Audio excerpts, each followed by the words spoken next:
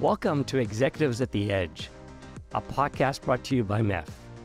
I'm your host, Pascal Menezes.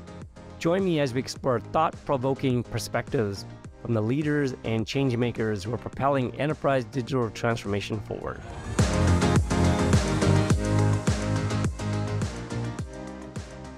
I am really so excited to have Zulkifli Ahmad, Senior Director from Singtel Enterprise, talk about their unified network as a service. I think you'll find this episode really interesting of how big Singtel really is and how they've unified network as a service globally and delivering that globally to old enterprises. So, with that, Zulkifli, welcome to Executives at the Edge. Maybe for our audience, you can just talk a little bit about yourself, your background, and maybe a little bit about uh, what Singtel is doing, and we can get right into this episode. Hey, hi. Thank you, Pascal, for having me here today. My name is Zulkifli Ahmad. I'm a senior director in Singtel Enterprise. I have been in Singtel for most of my career, actually. So, Singtel, we we are a Asia leading and industry recognized infocom leader with extended cloud and partner ecosystem. Um, we have proven track record in partnering our enterprises and public sector and customers supporting them in their network transformation journey and managing high performance enterprise network. And that includes essentially the whole ecosystem of software defined networking, whether is it from the LAN, SASE, and even the cloud access and wireless 5G connectivity. So that kind of give you a pretty quick sum up in terms of uh, what Singtel is and what I'm doing in Singtel. A lot of our audience doesn't really know Singtel.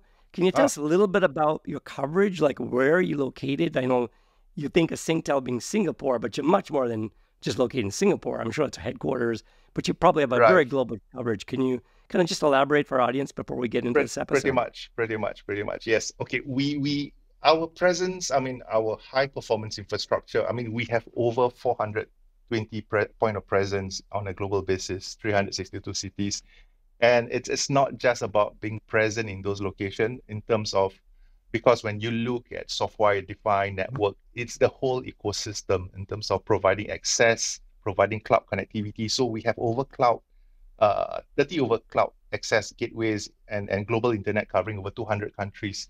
So that allows us actually to stitch to actually provision the service end to end on a global context. No doubt i mean the focus has always been asia Asia being very fragmented in terms of, you know, even when we talk about a global internet service in Asia itself, I mean, the scheme differs from country to country. But but what what network as service brings together on the table is a holistic uh, and more and, and with our functions and capabilities that we offer, like uh, the application aware routing, we allow customers to leverage on cost-effective uh, transport like internet at the same time, we allow deterministic routing, whether is it to the cloud, whether is it to the branch, uh, that, that is via the NaaS service. So Zulkifli, uh, you know, we just launched our network as a service in mm-hmm. October with our biggest uh, event called the Global NaaS event. And, you know, the NaaS has really become a big hot topic. And you have this idea of unified NaaS. So what exactly is unified network service and why are they essential in this modern digital age? Right, Pascal. So this unified network service is uh, an integrated approach to networking. I mean, where various network functions, whether is it routing, security, and even network optimization are consolidated into a single platform. And with the unified NaaS, uh, it allows organization to access uh, networking resources on demand. Case in point, bandwidth, routing, and even security as a subscription basis. So what this means for companies is that they can definitely scale their network up and down according to their needs, which is a significant departure in terms of how traditional network models are run currently. And, and this is essential because it simplifies the whole network management. It improves efficiency as what I've described earlier, and it definitely augments and, and enhances the overall user experience. We're in MEF defining network as a service of underlays, connectivity on demand, which you just described, mm-hmm. overlays with SD WAN, and you know, slicing with 5G. And then we have overlays of further with cybersecurity, SASE, SSE, ZTNA, and then edge compute and multi cloud and all of that we bundle with automation. Um, so can you kind of like help us understand like what exactly are the advantages that you know this kind of unified network services kind of brings to organizations and some of the key benefits of NaaS? Right. Okay. The, the, the key benefit would, would would definitely be, I think, as what you have described, Pascal. I think some of the key features that you have described is to simplify connectivity and network management. I think the whole idea of being agile and flexible. Uh, just just imagine having a single access that allows you to connect securely to multiple cloud and data centers, uh, being robust and, and flexible in, in the infrastructure. And the other bit, of course, with this whole connectivity and the centralized management, it empowers customer to actually, you know, uh, work things uh, or, or, or, orchestrate some of these functions and capability on demand via secure intuitive portal. And beyond that, I think if we were to look from a cost efficiency perspective, uh, it does reduce the cost by aggregating multiple cloud connectivity. It also improves uh, total cost of, of ownership with on-demand provisioning and usage-based charging model. And, and, and with that, I mean, you know, uh, those costs when we talk about, you know, secure space, power, cross-connect, that could actually be eliminated with, with this NaaS setup that I have just described. So, really, is Singtel now offering this like today? Is it available in the to the customer base around the world, or only in you know certain parts of Asia, or is it uh, available today?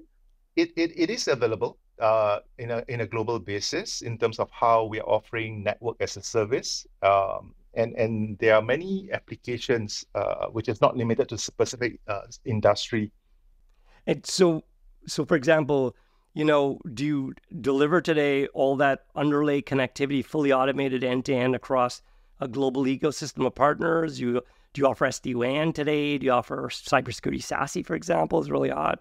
Is all is that all part of your unified network service or network as a service? Yes, this is part of the network service. Maybe I'll just provide a, little bit more elaboration. I mean, uh, one of the use case perhaps in terms of how we have delivered the service, and I, am working with a, one of the engagement with one of the enterprise who's embracing and embarking on their digital transformation journey.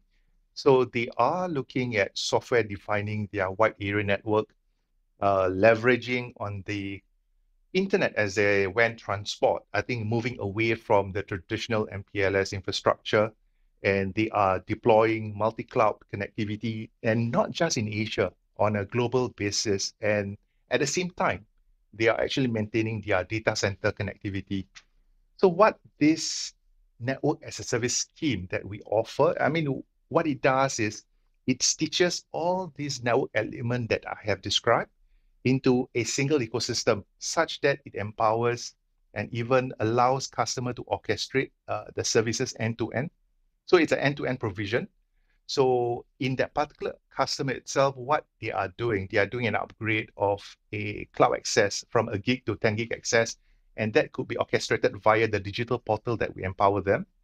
And at the same time, it also allows us to look at the edge where, you know, at, at the offices and the corporate offices, whether similar upgrade is required on the internet access at the edge. So that can be orchestrated uh, seamlessly as well. And with the NaaS service that Singtel offers, we also allow customer, I mean, we have this concept, what I call the application aware routing. So at all times, it allows, you know, optimal branch to cloud performance so that, you know, when we talk about latency over the internet, it becomes more predictable and optimized pathway to cloud. So this is the scheme that, that we have currently, which empowers customer to actually manage their own uh, network as a service. So, so are you really saying that customers want to use the internet as their first mile, maybe multiple loops, run SD-WAN on top of it, or even with slicing with 5G, and then they hit your nearest POP, and from there they get all your services and clouds, multi-clouds, and edge compute. Is that kind Indeed. of what you're saying? Indeed, correct. So yes, so we it is a whole uh, end-to-end scheme. One is definitely leveraging on internet being the preferred mode of transport And in Asia, I mean, internet can be as fragmented and and and you know uh, the, the scheme differs. So I think it is important as a network as a service provider, we we ensure connections is more predictable in terms of latency, not only to the cloud, even to the hub, to the data centers. So we have to ensure that that that that provision is done on a seamless fashion, and at the same time as well, they are able to uh, orchestrate the provision on demand. Yeah. So what are you know with this technology? Mm-hmm. What are the challenges and considerations? I can imagine their business challenges too. For example, they're not owning the capital anymore, right? It's all as right. a service. Yeah. So it was subscription or usage or both, and there must be challenges because they're not really responsible for the technology upgrades too. So, but there are challenges also from your end and considerations and what should organizers be aware of when implementing this kind of unified NaaS solution? Right. Because unified NaaS brings a lot of elements inside network elements. I mean, from the WAN, from the cloud access, from transport, and, and even security. And a, a careful design and planning is definitely required. And it is important. I mean, through my experience in engagement of these enterprises, it is important that this enterprise takes the security by design approach, I mean, from inception to deployment, I think we have to look at it and end-to-end service. And of course, I, I think uh, with the use of internet and all, I think compliance with industry regulation is also crucial. So uh, further to that, I, I, what the other element would be, I think understanding the cost model and the potential hidden cost is essential to avoid surprises. So these are some of the key elements that that that I, I think it's important uh, when and, and possibly challenges and consideration that customer has to consider when they are looking at unified NaaS uh, service. So, so uh, you know, one of the things I'm always thinking about mm-hmm. is mm-hmm. how does the customer perceive NaaS in a way that you, as a provider, have to be responsible for the technology refresh, and you have to supply all that refresh and mm-hmm. yet it's a subscription model, and they really don't, by definition, sign a contract more than a short term, conditionally years. Or commercially, do they still do that? They sign large contracts as a monthly basis or monthly and usage basis. I was always wondering how, you know, service providers deliver NaaS like the hyperscalers, but still manage to, you know, deliver that in a cost efficient model. Do you have right. any thoughts on that? Yeah, imagine in a traditional environment, I mean, when when you do a simple upgrade, case in point, an internet bandwidth from a 10 meg to 300 meg on on in a, in a corporate office itself, what it requires is possibly a truck roll to actually provision a new router, for example, to support such bandwidth upgrades. And, uh, and and subsequently, the whole provision could take essentially about a week or so to provision a service end to end to get a service provider to upgrade the internet bandwidth uh, to, to, to the expectation of the customer. But with NaaS as a service, how Singtel has orchestrated this whole concept of NaaS, one, at the edge itself, uh, we, we, we, we do still provide internet routers on, on customer premise, but in a virtualized form. So the universal CPE setup itself allows customer to you know do a virtual upgrade uh, setup uh, on, on demand without any truck roll. It simplifies the whole provision. And I have seen uh, where provisions and upgrades, when required and on demand basis, it shortens the whole provision from a week to probably about less than about 30 minutes. We, we can provide an upgrade of the internet bandwidth. And we don't stop there because end of the day, when we look at bandwidth upgrade, it also requires a subsequent upgrade probably in terms of their cloud connectivity, in terms of their cloud access to Azure or AWS. And that can be provisioned because the cloud access being software defined, again, I think the whole provision, uh, customers or even Singtel, they are empowered to actually uh, facilitate that upgrade end to end. So we, we, we really stitch the whole provision from the edge, the routers, the bandwidth at the customer premise itself, and even the cloud access uh, orchestrated through the portal that that that that that we offer with our network as a service. Got it.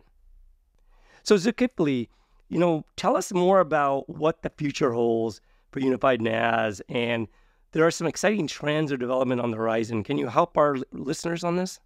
We, yeah, I mean, we, we definitely expect unified network as a service to continue evolve. I think uh, the integration of AI, ML into the network optimization is, is going to be a hot trend and which we have to embrace. That's one. And I think the proliferation of 5G and edge computing will further drive unified network as a service adoption, especially when we look at customers, you know, embracing the IoT application. I think that that will be crucial. And uh, a well thought out approach and collaboration, I think, with experienced providers will be key. I mean, to realize all this full potential of unified network as a service. Well, that's actually true. And I think, as you talked about, everything's going to be delivered from the edge. Edge, edge computing is massively coming in everywhere mm-hmm. uh, for low latency applications. And I think everything for NaaS will be delivered from that edge. Now, automation is very critical, right? We never really talked about that, but the ability to have that cloud like experience and be able to turn up and down resources on demand is really critical. Not just network resources, but you know, cloud resources and all cloud that. Resources as well. Yep. Yeah. So, any final thoughts? You know, before we wrap up, we're at the very end here. Um, any thoughts about you know for advice for our listeners who are considering kind of NaaS or unified NaaS for their organizations? Uh, it's all about planning, and I will encourage, I think, organizations uh, to carefully evaluate their specific needs and work with experienced service providers. Uh, unified network service can definitely be a powerful tool, but the right strategy and in terms of how we implement it, and especially while while while we we focus on global, I mean, definitely, I mean, Asia being, as I've described, being fragmented in terms of how things run from one country to the other, it's important that that we work with the right partner, and this will be key to reap the whole, the full benefits of network as a service. Well, Zulkifli, thank you so much for your time. It has been a complete pleasure listening to Singtel's um, NaaS offering, which is Unified NaaS. And I really, really thank you for your time. And I'm sure the listeners are really, really, really excited about all of this new technology, new services from Singtel, and how the world is transforming very rapidly. Indeed. So, with and that, thank you. Thank you. And thanks, Pascal, once again for having me here today. Thanks for joining us for Executives at the Edge. Don't miss an episode. Subscribe today, share online a review. Find all our episodes on your favorite podcast platform and at mef.net.